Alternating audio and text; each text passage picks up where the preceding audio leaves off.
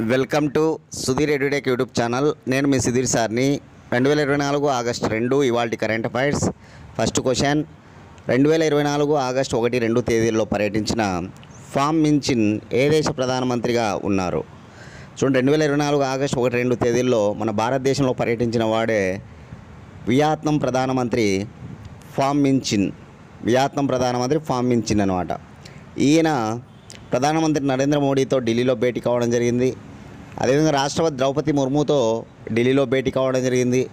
కాంగ్రెస్ అగ్ర నాయకురాలైనటువంటి సోనియా గాంధీతో ఢిల్లీలో భేటీ అయ్యాడు. అదేవిధంగా కాంగ్రెస్ అధ్యక్షుడిగా ఉన్న మల్లికార్జున ఖర్గేతో ఢిల్లీలో భేటీ అయ్యాడనమాట ఇకపోతే భారత ప్రధానమంత్రి నరేంద్ర మోడీతో ఆయన ఓకేనా ఢిల్లీలో భేటీ కావడం జరిగింది. దీనిలో భాగంగా నరేంద్ర మోడీ ఆయనతో ఆయనతో ముచ్చటిస్తూ ఇండో పసిఫిక్ మహాసముద్రంలో ఇండో పసిఫిక్ ఒకనా మా సముద్రంలో చైనా దూకుడును అరికట్టాలని చెప్పి చెప్పడం జరిగిందనమాట చైనా దూకుడు ఏదైతే ఉందో దాన్ని ఓకేనా అరికట్టాలని చెప్పడం జరిగిందనమాట భారతదేశం అభివృద్ధికి మాత్రమే ప్రాధాన్యత ఇస్తుంది కానీ ఓకేనా ఇట్లా యుద్ధాలకు వీటికి ప్రాధాన్యత ఇవ్వదని చెప్పి చెప్పడం జరిగిందనమాట అంతేకాకుండా రెండు దేశాల మధ్య పరస్పర సహకారం కోసం ఆరు అవగాహన ఒప్పందాలు కుదిరాయి రెండు దేశాల మధ్య పరస్పర అవగాహన కోసం ఆరు ఒక అవగాహన ఒప్పందాలు కుదిరాయి అన్నమాట వియత్నంకు సముద్ర భద్రత కోసం వియత్నంకు ముప్పై కోట్ల డాలర్ల రుణ సదుపాయం అందించిందన్నమాట భారతదేశం. వియత్నంకు సముద్ర భద్రత కోసం ముప్పై కోట్ల డాలర్ల రుణ సదుపాయం అందించింది. ఇవన్నీ నోట్ చేసుకోవాలి. ఇకపోతే న్యాట్రామ్ టెలికమ్యూనికేషన్ యూనివర్సిటీలో ఆర్మీ సాఫ్ట్వేర్ పార్కును ఇరు దేశాల అధినేతలు అంటే భారత ప్రధానమంత్రి నరేంద్ర మోడీ వియత్నాం ప్రధానమంత్రి మించిన్ ఇద్దరు కూడా ప్రారంభించడం జరిగిందనమాట ఈ ఆర్మీ సాఫ్ట్వేర్ పార్కును వియత్నాం భారతదేశ సహకారంతోనే నిర్మించుకుంది. అది గుర్తుపెట్టుకోవాలి భారతదేశ సహకారంతోనే నిర్మించుకుంది అనమాట ఏ పార్కును? ఆర్మీ సాఫ్ట్వేర్ పార్క్ అనమాట ఇది ఎక్కడ ఉంది అంటే న్యాట్రామ్ టెలికమ్యూనికేషన్ యూనివర్సిటీలో ఉంటుంది. టెలికమ్యూనికేషన్ యూనివర్సిటీలో ఉంటుందన్నమాట. దాన్ని ఇరు దేశాల అధినేతలు ఇక్కడ ప్రారంభించడం జరిగింది. ఇవన్నీ కూడా మనకి ఈ ఒప్పందాల్లో భాగంగా కొన్ని కనిపిస్తాయి అన్నమాట కాబట్టి ఇవన్నీ నోట్ చేసుకోవాలి దయచేసి. వియత్నాం దేశ రాజధాని హనోయ్ హనోయ్. వియత్నాం దేశ కరెన్సీ డాంగ్ అనమాట Vietnam dong.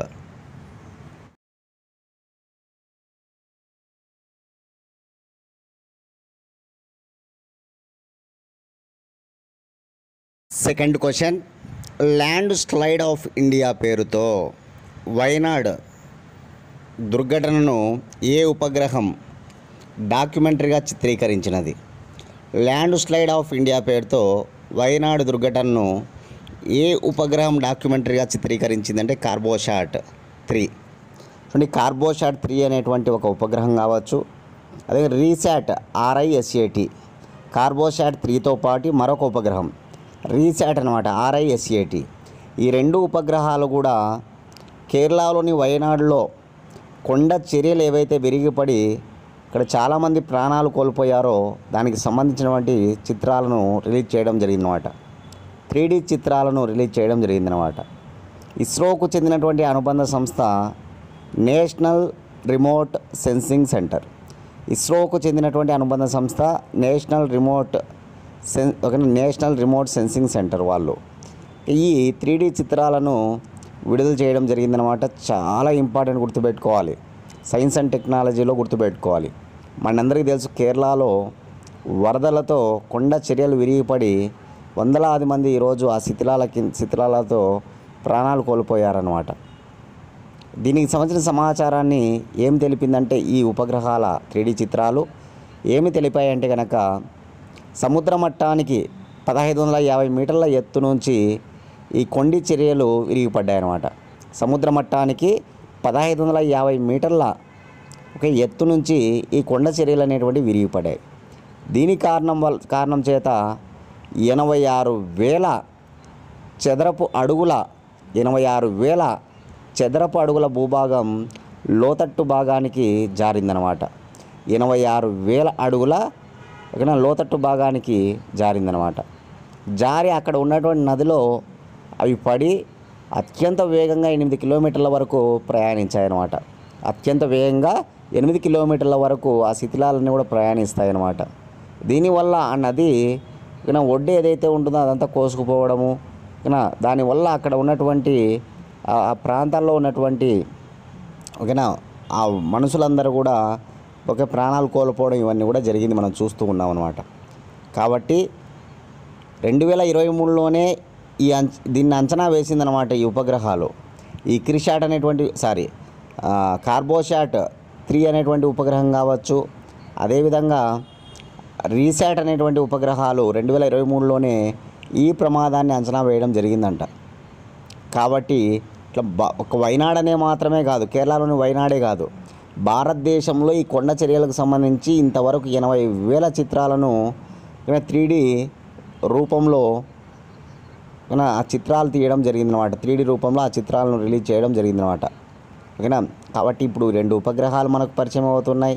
Cartosat three RISAT Cartosat three RISAT గుర్తుపెట్టుకోవాలి. ఓకేనా? చాలా ఇంపార్టెంట్ సైన్స్ అండ్ టెక్నాలజీలో నోట్ చేసుకోవాలి.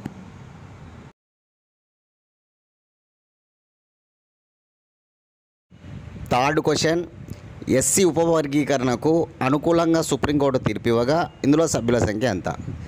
ఎస్సీ ఉపవర్గీకరణకు అనుకూలంగా తీర్పు ఇవ్వగా ఇందులో సభ్యుల సంఖ్య ఏడు మంది ఏడు మంది అనమాట చూడండి ఎస్సీల వర్గీకరణకు సుప్రీంకోర్టు పచ్చజెండా ఊపడం జరిగిందనమాట వెనుకబాటుతనం ఆధారంగా ఓకేనా ఈ వర్గీకరణ నిర్ణయం తీసుకోవచ్చు అనమాట వెనుకబాటుతనం ఆధారంగా ఈ వర్గీకరణ నిర్ణయం తీసుకోవచ్చు. ఈ అధికారం రాష్ట్రాలకు ఉంది. ఇక అధికారం ఎవరికి ఉంటుందంటే కనుక రాష్ట్రాలకు ఉంటుందన్నమాట. ఆరు ఇష్టు ఒకటి ఆధిక్యంతో సుప్రీంకోర్టు చారిత్రాత్మక తీర్పిచ్చింది.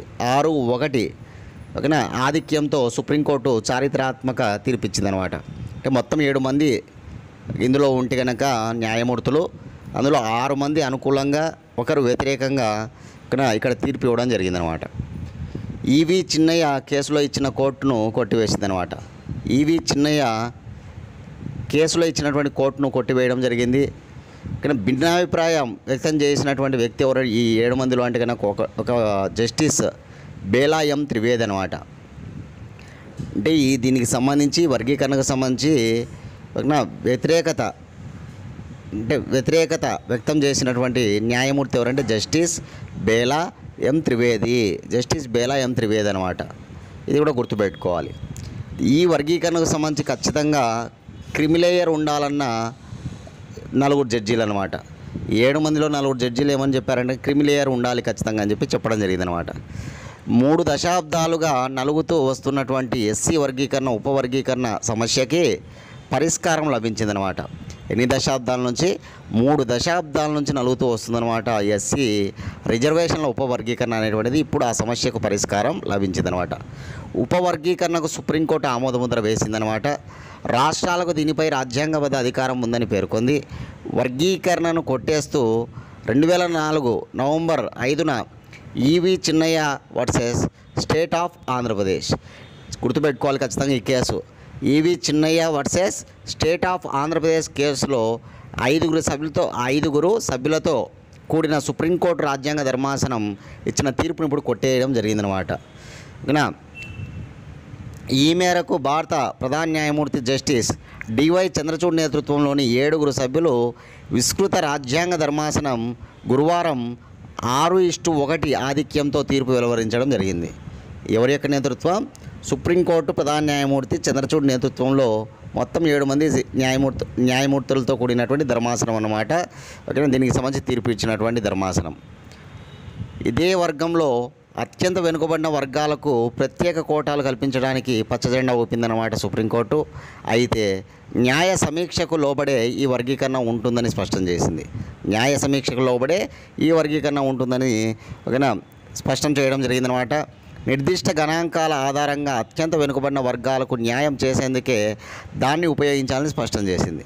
నిర్దిష్ట గణాంకాల ఆధారంగానే అత్యంత వెనుకబడిన వర్గాలకు న్యాయం చేసేందుకు దాన్ని ఉపయోగించాలని కూడా స్పష్టం చేసిందనమాట వెనుకబాటుతనం పేరుతో వంద పర్సెంట్ రిజర్వేషన్లకు ఒకే ఉపవర్గానికి దారాదత్తం చేయడానికి వీల్లేదని తేల్చెప్పింది. చాలా ముఖ్యమైనటువంటి అంశం అనమాట వెనుకబాటుతనం పేరుతో వంద పర్సెంట్ రిజర్వేషన్లను ఒకే ఉపవర్గానికి దారాదత్తం చేయడానికి వీలు లేదని చెప్పి తేల్చి చెప్పడం జరిగిందనమాట రాష్ట్రాలు రాజకీయ ప్రయోజనాలను దృష్టిలో ఉంచుకొని నిర్ణయం ఓకేనా తీసుకుంటే వాటి న్యాయస్థానాలు సమీక్షించవచ్చని పేర్కొన్నారనమాట ఓకేనా కాబట్టి రాష్ట్రాలు రాజకీయ ప్రయోజనాలను దృష్టిలో ఉంచుకొని ఒకవేళ నిర్ణయం తీసుకుంటే వాటి న్యాయస్థానాలను సమీక్షించవచ్చని పేర్కొందనమాట ఎస్సీ ఎస్టీల్లో క్రిమిలియర్ ఉండాలని నలుగురు న్యాయమూర్తులు అభిప్రాయపడ్డారనమాట ఎస్సీ ఎస్టీల్లో క్రిమిలియర్ ఉండాలని నలుగురు న్యాయమూర్తులు అభిప్రాయపడడం జరిగిందనమాట కాబట్టి ఇవన్నీ కూడా చాలా చాలా ఇంపార్టెంట్.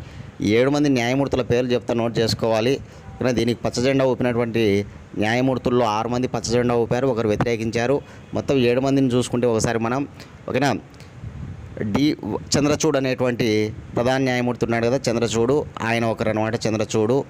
Next number two. ఓకేనా? చంద్రచూడు తర్వాత బిఆర్ గవాయ్ బిఆర్ గవాయ్ విక్రమ్నాథ్ విక్రమ్ నాథ్ పంకజ్ మితాల్ పంకజ్ మితాల్ మనోజ్ మిశ్రా మనోజ్ మిశ్రా సతీష్ చంద్ర మిశ్రా సతీష్ చంద్ర మిశ్రా. వ్యతిరేకించినటువంటి వ్యక్తి ఎవరంటే కనుక ఒక త్రివేది అనమాట వ్యతిరేకించిన వ్యక్తి త్రివేది. మొత్తం ఏడు మంది పేర్లు రావాలి మీకు. Chandrachud BR Gavai Vikram Nath Pankaj Mithal Manoj Mishra Satish Chandra Mishra Trivedi.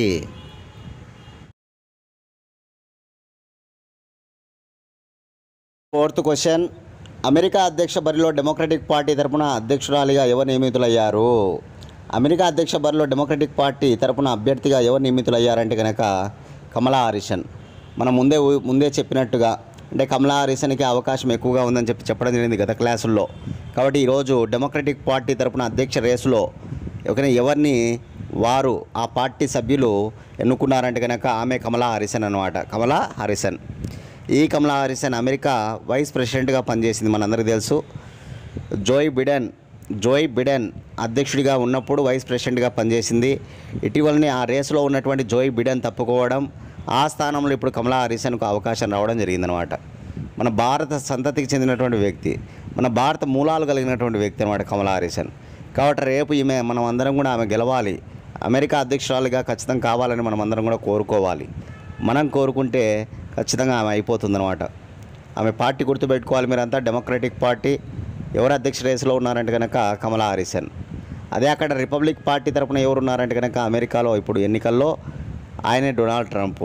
Republic party తరపున డొనాల్డ్ ట్రంప్ డెమోక్రటిక్ పార్టీ తరపున కమలా హారిసన్. కాబట్టి వీళ్ళిద్దరి మధ్య ఈ పోటీ ఉండబోతూ ఉందన్నమాట. ఓకే మనమైతే కోరుకోవాల్సింది ఎవరిని? కమలా హారిసన్ను. ఓకేనా? కాబట్టి చాలా ఇంపార్టెంట్ న్యూస్ గుర్తుపెట్టుకోవాలి.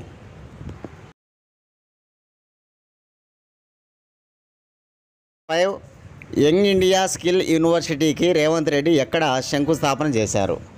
చూడు యంగ్ ఇండియా నైపుణ్యాభివృద్ధి విశ్వవిద్యాలయం. దీనికి రేవంత్ రెడ్డి గారు ఎక్కడ శంకుస్థాపన చేశారంటే కనుక మీర్ఖాన్పేట మీర్ఖాన్పేట మీర్ఖాన్పేట. రంగారెడ్డి జిల్లాలో తెలంగాణ రాష్ట్రంలో రంగారెడ్డి జిల్లాలో కందుకూరి మండలంలో గల మీర్ఖాన్పేట గ్రామంలో బేగరీ కంచె వద్ద.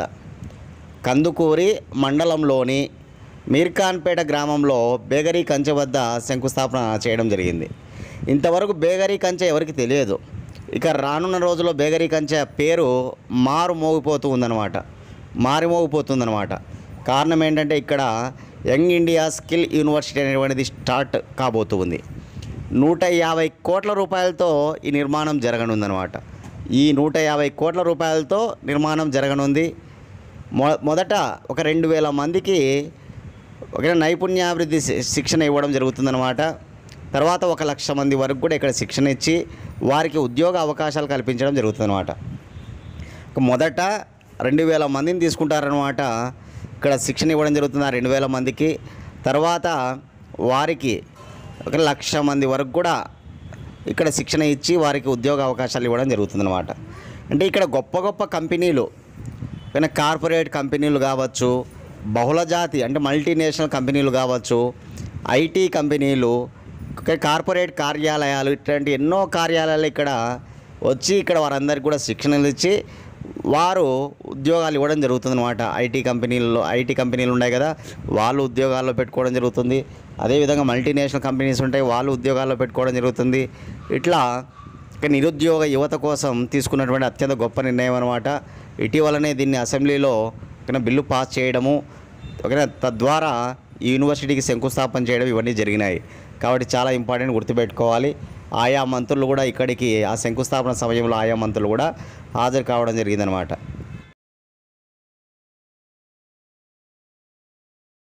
ఆంధ్రప్రదేశ్ సంబంధించి ఆల్రెడీ ప్రిలిమ్స్ ఎగ్జామ్ కంప్లీట్ కావడం జరిగింది. ఒక మెయిన్స్ జరగాల్సి ఉందన్నమాట.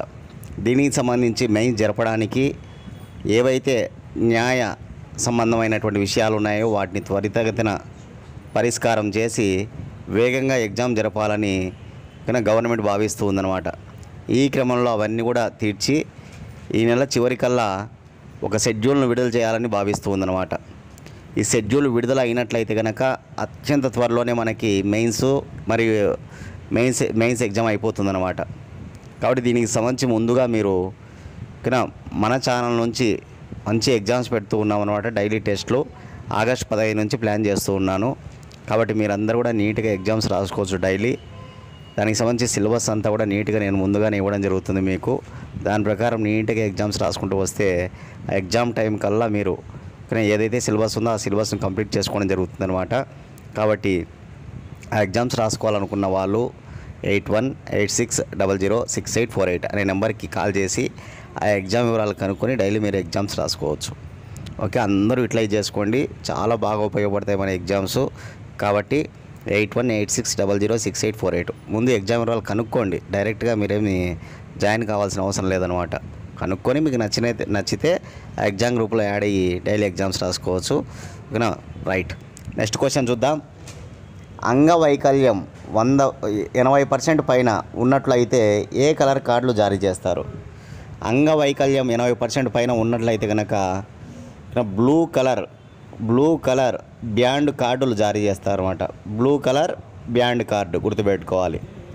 దీన్ని సెంట్రల్ మినిస్ట్రీ ఓకేనా సోషల్ జస్టిస్ ఉంటుంది సామాజిక న్యాయం.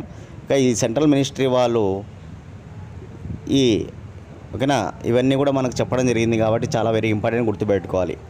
నలభై పర్సెంట్ లోపు వైకల్యం ఉండి ఉండి ఉండినట్లయితే కనుక వారికి వైట్ కలర్ బ్యాండ్ కార్డులు ఇస్తారంట. నలభై పర్సెంట్ వైకల్యం లోపు ఉంటే కనుక వారికి వైట్ కలర్ బ్యాండ్ కార్డులు ఇస్తారు. నలభై పర్సెంట్ నుంచి ఎనభై పర్సెంట్ వరకు అంగవైకల్యం ఉన్నటువంటి వారికి ఎల్లో కలర్ కార్డులు ఇస్తారనమాట ఎనభై పర్సెంట్ పైన అంగవైకల్యం ఉన్నటువంటి వారికి బ్లూ కలర్ కార్డులు ఇస్తారు. చాలా ఇంపార్టెంట్ నోట్ చేసుకోవాలి. నలభై పర్సెంట్ లోపు నలభై పర్సెంట్ నుంచి ఎనభై పర్సెంట్ వరకు ఎనభై పర్సెంట్ పైన ఓకేనా? మళ్ళీ చెప్తున్నా నలభై పర్సెంట్ లోపు నలభై పర్సెంట్ నుంచి ఎనభై పర్సెంట్ వరకు ఎనభై పర్సెంట్ పైన అనమాట వరుసగా ఏ colours? White colour white colour yellow colour yellow colour blue colour అనమాట ఇవి నోట్ చేసుకోవాలి. కేంద్రం యొక్క ఓకేనా? కేంద్రం జారీ చేసినటువంటి అంశాలు అనమాట ఇవి. కేంద్రం జారీ చేసినటువంటి అంశాలు అనమాట ministry of social justice and empowerment. Ministry of social justice and empowerment. ఓకేనా సోషల్ జస్టిస్ సామాజిక న్యాయం మరియు సాధికారిత. ఈ మంత్రిత్వ శాఖ వెల్లడించినటువంటి అంశాలు అనమాట ఇవి. వారు జారీ చేశారు ఈ అంశాలను ఇవి నోట్ చేసుకోవాలి మీరు. క్వశ్చన్ నెంబర్ సెవెన్ ఈశాన్య భారతదేశంలో చిన్న బల్లిలాంటి ఏ జాతి జీవులను శాస్త్రవేత్తలు కనుగొన్నారు? ఈశాన్య భారతదేశంలో చిన్న బల్లిలాంటి గెకో జాతి జీవులను శాస్త్రవేత్తలు కనుగొన్నామంట. గెకో జాతి జీవులను. ఫోర్త్ ఆప్షన్ చూడండి. గెకో జాతులు. ఈ గెకో జాతి జీవులను ఈశాన్య భారతదేశంలో కనుగొన్నారనమాట ఓకేనా? మొత్తం ఆరు కనుగొన్నారనమాట అందులో రెండు వచ్చేసి అరుణాచల్ ప్రదేశ్లో రెండు నాగాల్యాండ్లో ఒకటి మణిపూర్లో ఒకటి మిజోరాంలో. రెండు అరుణాచల్ ప్రదేశ్లో రెండు నాగాల్యాండ్లో ఒకటి మణిపూర్లో ఒకటి మిజోరాంలో. ఇట్లా ఆరు గెకో జాతి చిన్న చిన్న బలు లాంటి వాటిని కనుగొన్నారనమాట డెహ్రాడూన్కు చెందినటువంటి wild life institute of India శాస్త్రవేత్తలు. డెహ్రాడూన్కు చెందినటువంటి wild life institute of India శాస్త్రవేత్తలు ఈ జీవులను కనుక్కోవడం జరిగిందనమాట ఇక గుర్తుపెట్టుకోవాలి. కొన్ని కొన్ని కొత్త జాతులను కనుగొన్నప్పుడు అవి ఎక్కడ కనుగొనబడ్డాయి ఎవరు కనుగొన్నారు అనేది అడుగుతూ ఉంటారు. కాబట్టి ఈశాన్య భారతదేశంలో ఆరు రకాల గెకో జాతులను కనుగొన్నారనమాట ఇక అవి ఎలా ఉంటాయి చూడ్డానికంటే చిన్న బల్లులు ఎలాగైతే ఉంటాయో చిన్న చిన్నగా అట్లాంటి బలులను పోలి ఉంటాయన్నమాట ఈ గెకో జాతి జీవులు.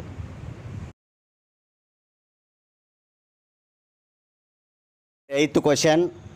సిస్తురా సోనారెంగెన్సిస్ అనే సరికొత్త చేప జాతిని ఏ రాష్ట్రంలో కనుగొన్నారు? సిస్తురా సోనారెంగెన్సిస్ అనే సరికొత్త చేప జాతిని మేఘాలయ రాష్ట్రంలో కనుగొన్నారు. మేఘాలయలో కనుగొన్నటువంటి కొత్త చేప జాతి అనమాట ఓకేనా? ఆ జాతి పేరు సిస్తురా సోనారెంగెన్సిస్ సిస్తురా సోనారెంగెన్సిస్ సిస్తురా సోనారెంగెన్సిస్ అనమాట ఈ జాతి గురించినటువంటి సమాచారం చూస్తే ఇది మేఘాలయలోని దక్షిణ గారో హిల్స్ దక్షిణ గారో హిల్స్ అనేటువంటి జిల్లాలో చియా బోల్ అనేటువంటి గుహలో ఈ జాతిని కనుగొన్నారనమాట ఒక గుహ ఆ గుహ వచ్చేసి చియా బోల్. చియా బోల్ అనేటువంటి ప్రాంతంలో ఉన్న గుహలో ఈ చేప జాతిని కనుగొన్నారనమాట ఎక్కడ? ఏ జిల్లాలో అంటే కనుక గారో డిస్ట్రిక్ట్లో. ఓకేనా? ఇది వరకు ఇట్లాంటి జాతులే మనకి కాశీ జయంతియా కొండల్లో కూడా కనుగొన్నారు. కాశీ జయంతియా కొండల్లో కనుగొన్నారనమాట ఇది ఒక కేవ్ షిప్ అనమాట గుహలో కనుగొనబడింది కాబట్టి దీన్ని కేవ్ షిప్ అంటారనమాట ఓకేనా? ఇట్లాంటి కేవ్ షిప్పులు ఇదివరకు ఎక్కడ కనిపించాయంటే ఇదే మేఘాలయలో కాశీ జయంతియా కొండల్లో కూడా కనిపించాయన్నమాట. కాకపోతే ఓకేనా గతంలో కనిపించినటువంటి కాశీ జయంతియా కొండల్లో కనిపించినటువంటి ఈ చేప జాతికి చేప జాతి కళ్ళు ఉండవు అనమాట అంద చేపలు అవి. అంద చేపలు అనమాట ఆ కేవ్ షిప్పులు వచ్చేసి అంద చేపలు కళ్ళు ఉండవు. కానీ ఇప్పుడు కనుగొన్నటువంటి దానికి మాత్రం కళ్ళు ఉన్నాయన్నమాట. అది తేడా. వాటి గుర్తుపెట్టుకోవాలి. ఇది కూడా కొత్త రకము చేప జాతి అనమాట కొత్త రకపు చేప జాతి. దీనికి కళ్ళు ఉన్నాయన్నమాట ఇది ఒక కేవ్ షిప్ అని గుర్తుపెట్టుకోవాలి. గారో కొండల్లో ఇది కనుగొనబడిందనమాట ఎక్కడ కనుగొనబడిందంటే చియా బోల్లో కనుగొనబడింది. గారో జి జిల్లాలోని కియా చియా బోల్లో కనుగొనబడింది. చియా బోల్లో. ఓకేనా? ఆ జాతి పేరు గుర్తుపెట్టుకోండి. సిస్తురా సోనారెంగెన్సిస్ అనమాట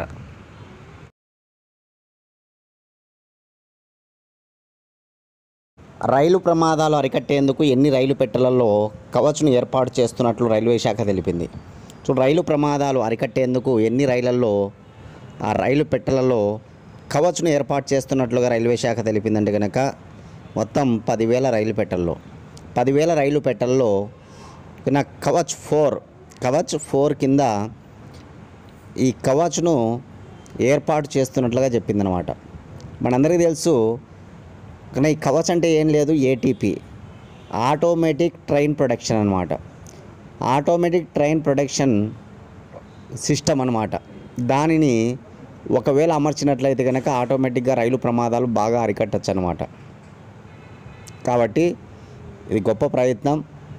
ఎందుకంటే ఇటీవల రైలు ప్రమాదాలు మనం చాలా జరుగుతున్నాయి. వాటిని అరికట్టాలంటే కవచ్ అనేటువంటి సిస్టమ్ కంపల్సరీగా దాన్ని అభివృద్ధి చేయాల్సిన బాధ్యత ఓకేనా ప్రభుత్వాలదనమాట దానిలో భాగంగా ఇప్పుడు రైల్వే శాఖ తీసుకున్న నిర్ణయం. పదివేల రైలు పెట్టలలో ఈ కవచ్ను ఏర్పాటు చేస్తున్నట్టుగా కవచ్ ఫోర్లో భాగంగా కవచ్ ఫోర్ కవచ్ ఫోర్లో భాగంగా ఏర్పాటు చేస్తున్నట్లుగా చెప్పడం జరిగిందనమాట లోక్సభలో ఈ విషయాన్ని రైల్వే శాఖ సహాయ మంత్రి రైల్వే శాఖ మంత్రి అశ్విని వైష్ణవ్ మన రైల్వే శాఖ మంత్రి అశ్విని వైష్ణవ్ కదా ఆయన వెల్లడించడం జరిగిందనమాట అంతేకాదు ఆయన మాట్లాడుతూ ఓకేనా మన భారతదేశంలో ఈ వందే భారత్ స్లీపర్ రైళ్ళు కూడా తీసుకురాబోతున్నారు అనమాట వందే భారత్ వందే భారత్కు సంబంధించి స్లీపర్ ట్రైన్స్ లేవు ఇప్పుడు ఇంతవరకు. వందే భారత్ ట్రైన్స్ అనేవి స్లీపర్ ట్రైన్స్ కాదు ఇప్పుడు ఉన్నటువంటివి. కాబట్టి వందే భారత్ స్లీపర్ రైళ్ళను కూడా తీసుకురానున్నారన్నమాట దానికి సంబంధించినటువంటి ప్రయోగ దశ జరుగుతూ ఉందంట. తొలి ప్రయోగ ప్రయోగం చేయబోతూ ఉన్నారనమాట అతి త్వరలోనే దీన్ని ప్రారంభించబోతూ ఉన్నట్టుగా చెప్పడం జరిగిందనమాట కాబట్టి ఆ విషయం కూడా గుర్తుంచుకోవాలి మనం.